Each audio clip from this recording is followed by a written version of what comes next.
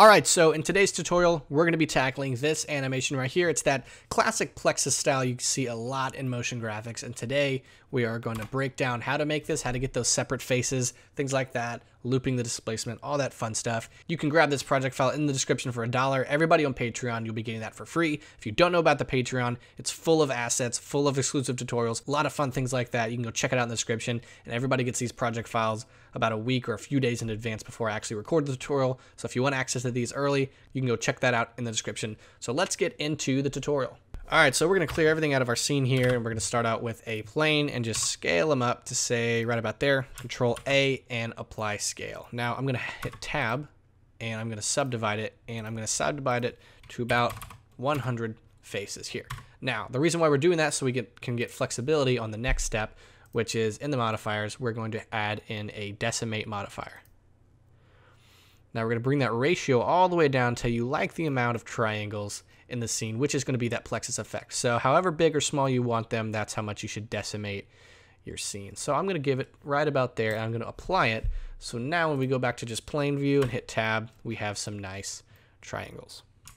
All right, now what I'm going to do is I'm going to add the modifier, which is a displace modifier, hit new, and we're going to go ahead and get a clouds texture, bring depth all the way down, bring the size pretty big, something like that. Now let's go ahead and start making that plexus style effect, and we're going to add in a uh, our particle. I'm going to pick a UV sphere. You can pick any round or any object you'd like, but the plexus style usually asks for a round object, so we're going to go round. Now, we're going to take this, and we're going to add in a new particle system, make it hair, and then on source, go from faces to verts, so we can get a, um, a particle and at the edge of each of these triangles. You can see some of them are missing, but we'll fix that in a second.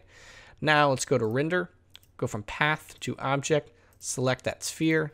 Then we're going to get this. We're going to just bring that scale down to right about there. And as you can see, some of them are missing. All you have to do is bring up that number and it fills up those spots where the missing uh, particles are. Now we can go in and add in a wireframe modifier and we have the classic plexus effect. Um, but we're going to go much farther with this because some plexus styles you can see faces showing up in there. But first, let's animate this so we can actually show how that works. So what I'm going to do is to animate this. I've shown this a thousand times. We're going to get an empty here, plane axis. We're going to go to the displacement and uh, displacement modifier and go from local to to uh, object and go pick the object, which is, which is our empty. And we'll click our empty. And if you just hit R twice, you can see how that works. So we're just going to animate that. We have 250 frames, so I'll leave it there. Now make sure that your empty is selected. I'm going to pick Y, go to the very end, hit the right arrow to skip a frame, and we're going to go to 360, enter, and now we have a nice moving plexus animation. So let, now let's start shading it. So Z, well, actually before we hit render, go to the Eevee render engine, turn on ambient occlusion and bloom. That's all we're to need. Select our wireframe thing, and we're to get a new um, material. Can't speak today.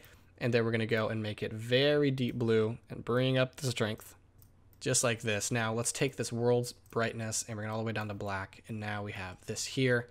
What I like to do is make the wireframe pretty thin for this type of thing. So something light about there and then bring our color a little bit over here.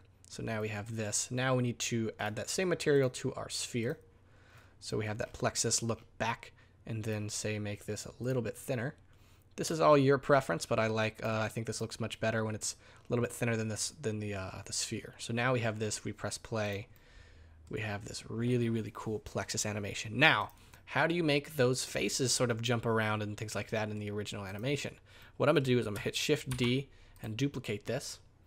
Then I'm gonna go ahead and I'm going to delete the particle setting, I mean the particle system, and I'm gonna delete the wireframe. So now we have this. Let's go into the shading tab and we're gonna remove that uh, original, create a new, delete that. We're going to mix shader right here, plug it into the surface. We're going to get a emission, and we're going to get a transparent. Transparent BSDF, plug this to the bottom, plug the emission into the top, and give the emission the same color as the other one. So I'm just going to go over here and copy this hex code, Control C, and then go back and color, paste the hex code, which gives it that exact color. Now we need to tell them which ones to be translucent, all that stuff. But first we need to actually activate this trans, oops, and it's actually translucent. It needs to be transparent. My mistake. Transparent BSDF. Very important. Now we need to activate him. So we'll go into the shader settings right here on blend mode, alpha clip. And that's going to make everything disappear, but we'll fix that in a second. Now let's get a color ramp, a noise texture.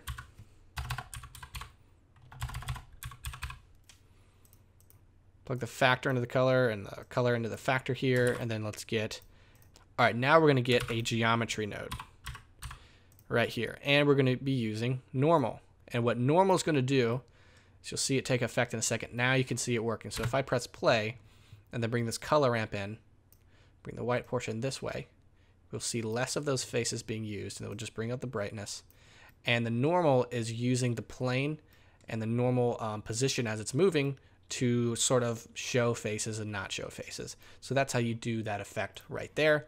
And then I'm gonna set up my camera here Control Alt Zero, snap it, and then I'll hit R.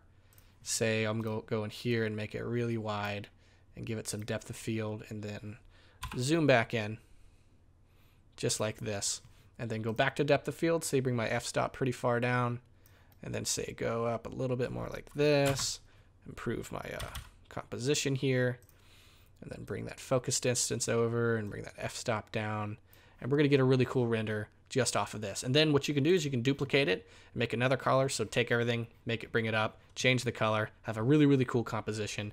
And then once you're done to export it, hit this little printer icon, select where you want to save it, go from PNG to FFmpeg video, encoding to MP4, medium quality to perceptually lossless, then right here, render, render animation, and you're done.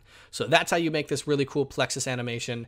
Uh, hope you enjoyed it. Hope you learned something, and thanks for watching.